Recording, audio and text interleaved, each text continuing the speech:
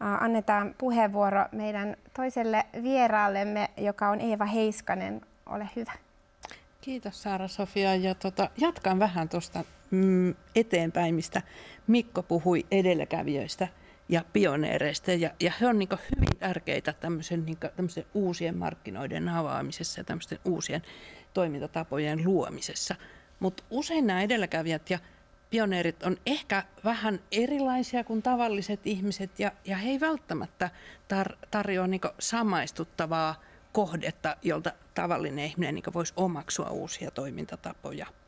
Ja nyt erityisesti, kun nämä asunto-osakeyhtiöt on niin hyvin lupaava konteksti näille energiayhteisöille, niin, niin mun mielestä on kehitettävä sellaista kieltä ja tapaa esitellä energiayhteisö, joka puhuttelee ihan tavallisia ihmisiä. Aurinkoenergia, uusiutuva energia yleensä nauttii laajaa kannatusta. Asunto-osakeyhtiöissä varmaan odotetaan innolla kustannussäästöjä, vaikutusta asunnon arvoon. Mutta sitten on, on kysymyksiä, jotka saattaa epäilyttää. Um, uusi tekniikka, sopimusehdot, juridiset kysymykset voi herättää, herättää kysymyksiä.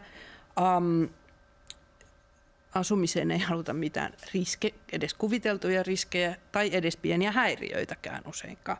Ja lisäksi tämä yhteisö on ehkä vähän semmoinen, joka sellaista asukasta, joka on täällä vain asumassa, niin voi vähän mietityttää, että kuinka tiivistä yhteisöllisyyttä tämä nyt edellyttää ja syntyykö tästä jotain uusia velvoitteita. Ja siinä mielessä minusta olisi tärkeää saada niin tavalliset ihmiset mukaan ja myös niin kertomaan kokemuksista ja jakamaan niitä omia näkemyksiä, paitsi niin isännöitset ja hallitusten jäsenet ja puheenjohtajat, niin myös ihan nämä asukkaat kertomaan kokemuksistaan, että, tämä on niin täysin tavoitettavissa ja tavoiteltavissa oleva asia. Hmm. No sä oot Eeva kuluttajatutkimuskeskuksesta, niin miten sä niin kuin sillä asiantuntemuksella vinkkaisit, että nämä tavalliset kokemukset saataisiin esille? Miten, miten me pystyttäisiin saamaan niitä kokemuksia, joita ihan, ihan niillä tavallisilla asukkailla on, just niin kuin sanoit, mm. että ei ainoastaan näillä, jotka ovat, ovat tekemässä niitä päätöksiä vaikka siellä hallituksessa? Um, joo, hyvä kysymys. Um, tavallisilla ihmisillä on usein niin kuin, vähän vaikea mennä puhumaan energiasta.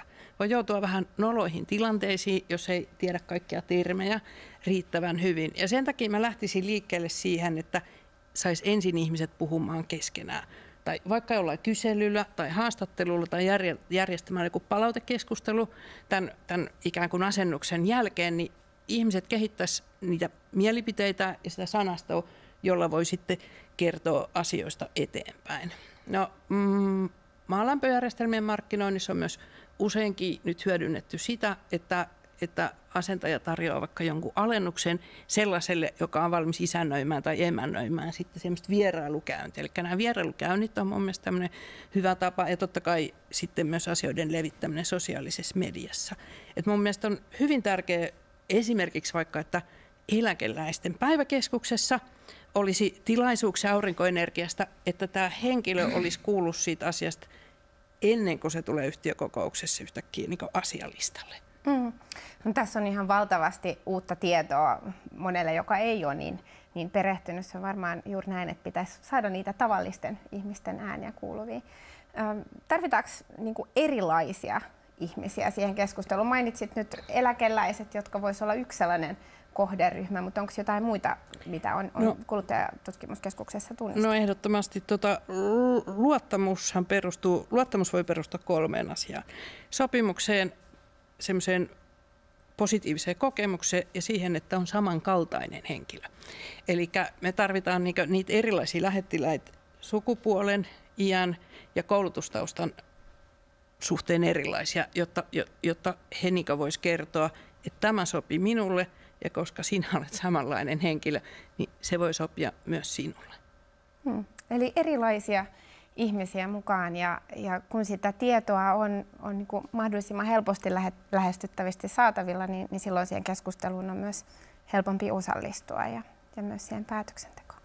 Kiitos paljon Eeva sinulle näistä näkemyksistä.